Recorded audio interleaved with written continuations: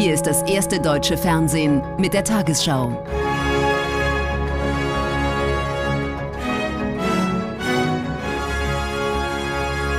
Heute im Studio Judith Rakers. Guten Abend, meine Damen und Herren. Ich begrüße Sie zur Tagesschau. Mit einem eindringlichen Appell für schärfere Klimaschutzmaßnahmen hat der Weltklimarat heute seinen zusammenfassenden Bericht vorgestellt. Demnach ist das 1,5 Grad Ziel, zu dem sich die Weltgemeinschaft 2015 in Paris verpflichtet hat, kaum noch zu halten. Es sei wahrscheinlich, dass die Erderwärmung bereits bis 2035 diese Marke überschreitet. Bis zum Ende des Jahrhunderts könnten sogar 2,8 Grad erreicht werden. Wie sich der Weltklimarat zusammensetzt und was seine Aufgabe ist, dazu zunächst ein Überblick. Der Weltklimarat setzt sich aus drei Arbeitsgruppen zusammen. Die erste wertet wissenschaftliche Erkenntnisse zum Klimawandel aus. Die zweite schaut auf die Folgen der Erderwärmung und wie Natur und Gesellschaft sich anpassen können. Und die dritte zeigt, wie die Erderwärmung begrenzt werden kann. In diesen Arbeitsgruppen sitzen führende Wissenschaftlerinnen und Wissenschaftler aus der ganzen Welt, etwa aus den Bereichen Klima- und Meeresforschung, Statistik, Ökonomie und Gesundheit. Für jeden Bericht werden sie neu ausgewählt. Ihre Aufgabe ist es, vorhandene, bereits begutachtete Zahlen, Fakten und Studien zusammenzufassen, zu bewerten und einzuordnen. Die Arbeitsgruppen haben ihren Bericht bereits im August 2021 und im Februar und April 2022 vorgestellt. Jetzt folgt der Synthesebericht, die Zusammenfassung. Der Blick auf die Berge rund um Davos zeigt ein Schweizer Panorama, wie es schöner kaum sein könnte. Tatsächlich aber sind nur die Gipfel schneebedeckt, die Täler braun und schneefrei. Das beunruhigt Klimaforscher Christoph Marti. Seine Studien zeigen, Anfang März liegen hier nur 30 Zentimeter Schnee statt einem Meter, wie sonst zu dieser Jahreszeit. Und das Vergleich. Wenn man das vergleicht mit dem langjährigen Mittel, dann sehen wir eigentlich, dass wir in Davos, aber auch in anderen Stationen noch nie so wenig Schnee gehabt haben wie jetzt. Es fehlen Niederschläge, wie der letzte Winter eindrücklich gezeigt hat. Der Klimawandel beschleunigt sich, die Lage ernst. In den Klimakonferenzen, die jetzt kommen, müssen ähm, die Länder dieser Welt sich verbindlich auf wirklich dann auch harte Maßnahmen einigen, um die Ziele äh, umzusetzen, die schon da sind, um gegebenenfalls auch Ziele nachzuvollziehen. Das kann nur gemeinsam im gemeinsamen nach vorne schreiten funktionieren. Ähm, und dafür bietet der Bericht wichtige wissenschaftliche Grundlagen. Der Generalsekretär der Vereinten Nationen warnt. Die Menschheit steht auf dünnem Eis und dieses Eis schmilzt schnell. Wie der Bericht des IPCC heute zeigt, ist die Menschheit verantwortlich für die Erderwärmung der letzten 200 Jahre. Unsere Welt braucht Klimamaßnahmen auf allen Fronten. Alles, überall und so schnell wie möglich.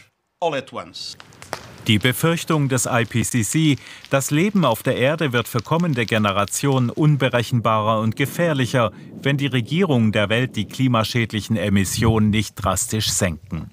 Das 1,5 Grad Ziel der Erderwärmung wird ansonsten bereits in den 2030er Jahren überschritten. Die bisherigen Klimaschutzmaßnahmen reichten nicht aus, so der Bericht des Weltklimarats.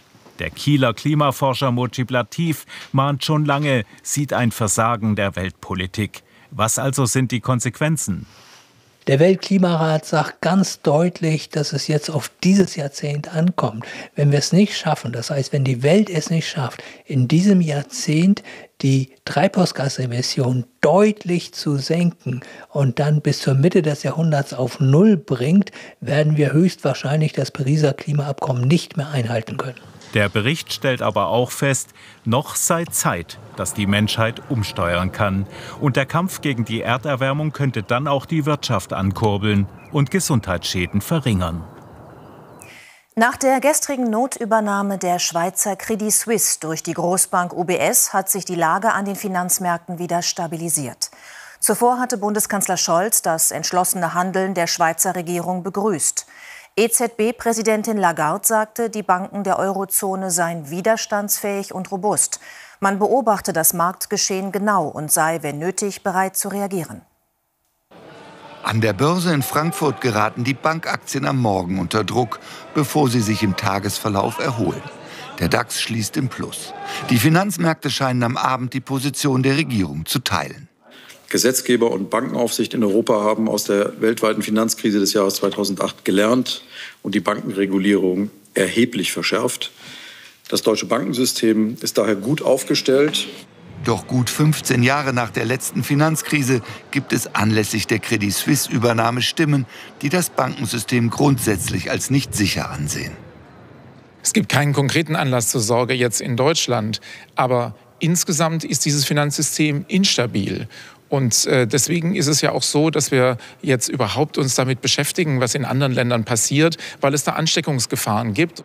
Die Befürchtung mancher Experten, Bankkunden könnten durch panisches Geldabheben eine Bank überhaupt erst in Schieflage bringen. Bei den deutschen Banken realisieren wir, dass ja doch durchaus einige Finanzinstitutionen große Abschreibungen, große Verluste gemacht haben. Und diese Sorge um Banken kann zu sogenannten selbsterfüllenden Erwartungen führen. Also, dass das, was man Sorge hat, dass es eintritt, eben dazu führt, dass Investoren, Sparerinnen und Sparer ihr Geld abziehen und damit diese Krise auslösen. Ohne das Vertrauen, dass die eigene Bank auch morgen noch zahlungsfähig ist, funktioniert kein Finanzsystem. Und das mühsam zurückgekehrte Vertrauen ist schnell wieder verloren. Der chinesische Staatschef Xi und Russlands Präsident Putin haben bei einem Treffen im Kreml ihre strategische Partnerschaft betont. Xi bleibt drei Tage in Moskau. Ein Thema der Gespräche ist der Krieg in der Ukraine. Peking hat einen Friedensplan vorgelegt, den der Westen allerdings skeptisch betrachtet. Außerdem wollen China und Russland ihre wirtschaftliche Zusammenarbeit ausbauen.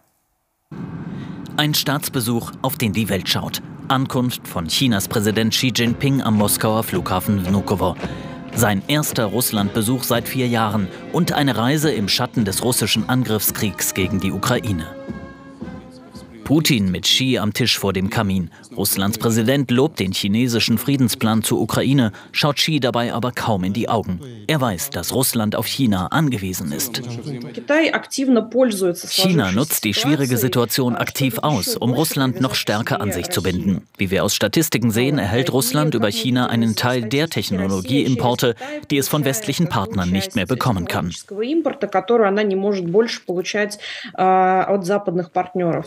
Am Morgen hatten beide Präsidenten in russischen und chinesischen Zeitungen Namensartikel veröffentlicht. Xi schreibt in der Rossijskaja Gazeta über Freundschaft und Partnerschaft. Den chinesischen Friedensplan für die Ukraine erwähnt er nur sehr allgemein.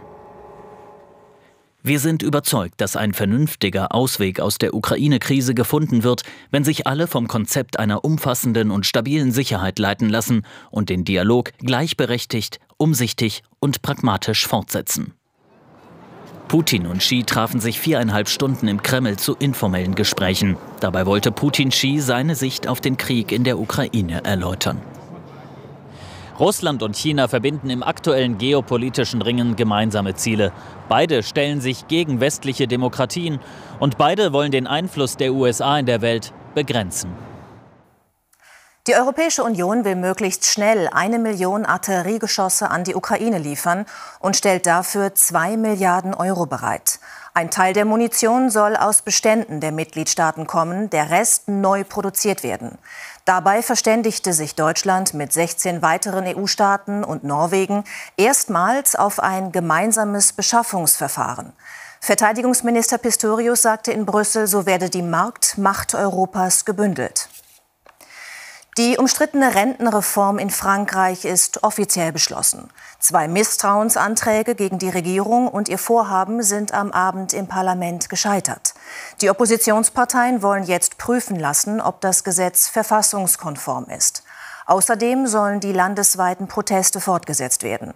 Vorgesehen ist unter anderem, dass das Rentenalter von 62 auf 64 Jahre angehoben wird vor der Abstimmung. Die Reihen der Opposition sind geschlossen. Anspannung seit dem Nachmittag. In der Assemblée Nationale wird abgestimmt über die Misstrauensanträge gegen die Regierung und ihr umstrittenes Rentengesetz.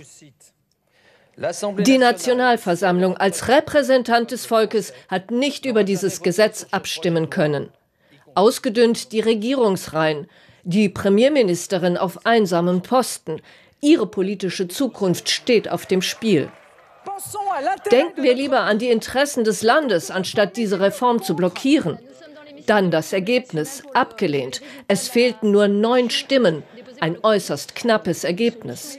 Damit ist das umstrittene Gesetz verabschiedet, doch die Wut und die Ablehnung im Land wachsen. Seit Tagen kommt es zu Demonstrationen und Ausschreitungen und ein Ende ist nicht in Sicht. Und damit zu Sabine Rau in Paris. Wie ist das Ergebnis der Abstimmung einzuschätzen? Ja, das ist ein Schock für die Regierung Macron, denn das Ergebnis ist deutlich knapper als erwartet. Und selbst wenn die Regierung das Misstrauensvotum jetzt überstanden hat, sie ist nach dem heutigen Tag entschieden geschwächt.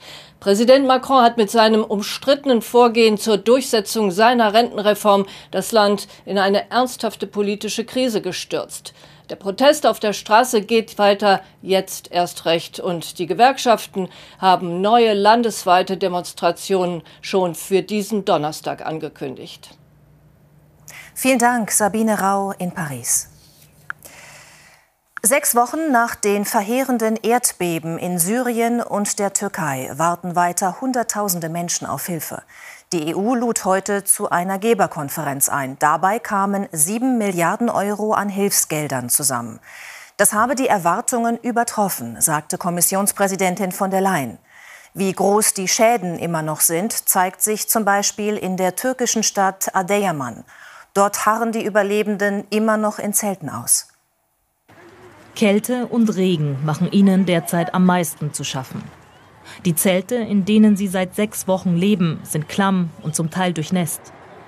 Viele hier warten darauf, in eine der Containerstädte umzuziehen.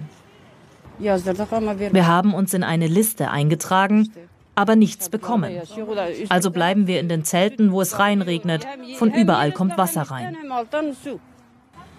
Ein großes Problem sei die Hygiene im Lager, erzählen die Frauen. Es gibt keine Toiletten oder Waschmöglichkeiten. Alles ist improvisiert. Die Menschen fühlen sich alleine gelassen. Was ist das für ein Staat? Warum kommt der Ortsvorsteher hier nicht mal vorbei? Weder der Ortsvorsteher ist gekommen, noch der Bürgermeister oder irgendein Abgeordneter. Die Zelte stehen in der Nähe ihrer ehemaligen Häuser. Viele sind beschädigt und einsturzgefährdet. Von ehemals knapp 700.000 Einwohnern sollen nur noch 100.000 Menschen in Adiaman ausharren. Der Rest hat die Stadt verlassen. Am Stadtrand haben sie ihre Toten begraben. Mehr als 6000 sollen es hier nach offiziellen Angaben sein. Schmerz und Verzweiflung sind allgegenwärtig.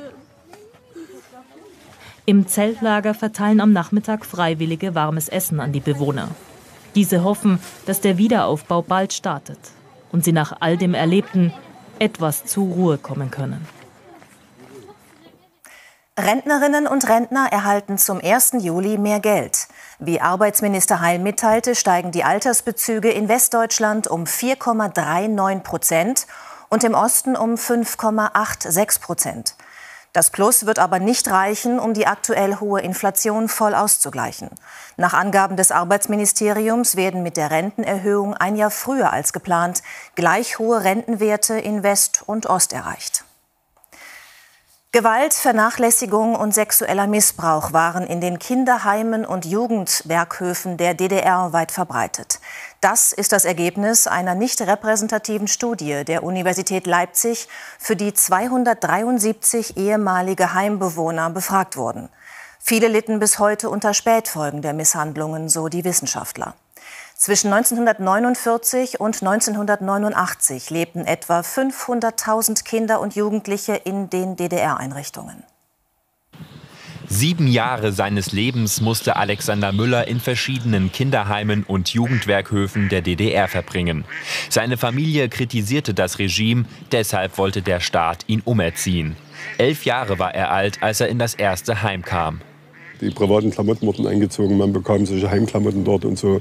Und das war, man war reduziert praktisch nur noch auf eine Nummer. Ja, man hat so eine Wäschenummer gehabt. Ja, also bei mir war es die Nummer 22 beispielsweise. Ja, also war ich die Nummer 22. Ja, und das, ist, das prägt einen auch ein Stück. In den Jugendwerkhöfen der DDR war Zwangsarbeit an der Tagesordnung. Im Rahmen der Studie erzählen viele Betroffene von körperlicher Misshandlung und auch von sexuellem Missbrauch. Die Aufarbeitung sei für Opfer aus unterschiedlichen Motiven wichtig, so die Forschergruppe.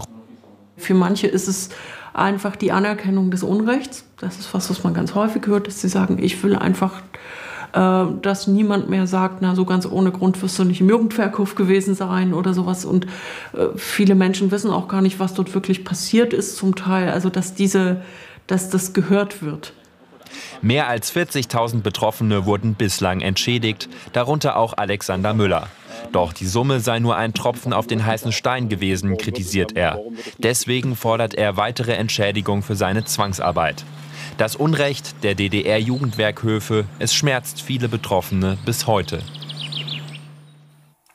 Und nun die Wettervorhersage für morgen Dienstag, den 21. März. Atlantische Tiefausläufer bestimmen unser Wetter, nur der Süden liegt weiter unter Hochdruckeinfluss. Dort ist es heute Nacht teilweise aufgelockert, im Südwesten auch klar. Im Norden und in der Mitte bringen viele Wolken zum Teil leichten Regen. Morgen im Tagesverlauf dann von Westen her öfter Regen oder Schauer. Im Süden ist es zum Teil freundlich, ganz im Süden auch sonnig. In der Nacht am Niederrhein noch 9, im Allgäu 0 Grad. Morgen Höchstwerte von 8 Grad an der nordfriesischen Küste bis 19 Grad am Kaiserstuhl. Am Mittwoch im Süden zum Teil noch länger Sonnenschein, sonst von Nordwesten her dichte Wolken mit Regen. Am Donnerstag verbreitet Regen oder Schauer, im Norden auch einzelne Gewitter. Freitag wird es insgesamt wechselhaft, dabei sind auch Sturmböen möglich. In den Tagesthemen um 22.15 Uhr mit Karim Mioska gehen wir der Frage nach, ob die Notübernahme der Credit Suisse eine weitergehende Bankenkrise verhindert. Außerdem berichten wir über den Munitionsmangel der ukrainischen Armee. Ich wünsche Ihnen noch einen angenehmen Abend.